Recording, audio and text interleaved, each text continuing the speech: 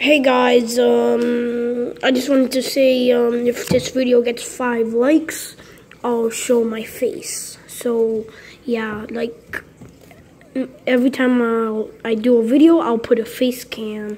And also, I'll do a face reveal. So, if this gets five or more likes, um, I'll be happy enough to um, show my face in YouTube because I've never shown my face.